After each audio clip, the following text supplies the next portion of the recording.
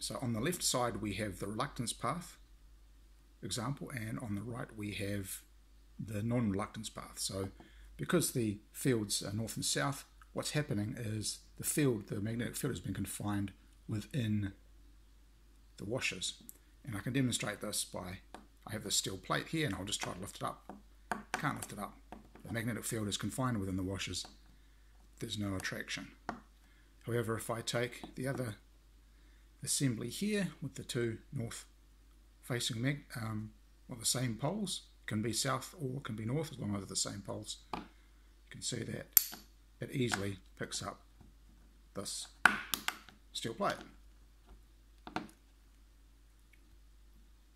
So we take that concept and we can 3D print a case, as you see in yellow here, and a simple switching device.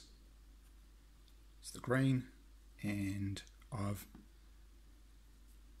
glued in to a recess within the case those three um, washers that I talked about, and the arrow here points to the direction of magnetism. So at the moment, um, the reluctance path is on and therefore we're not getting any attraction because the magnetic field is confined within the washers. I then turn on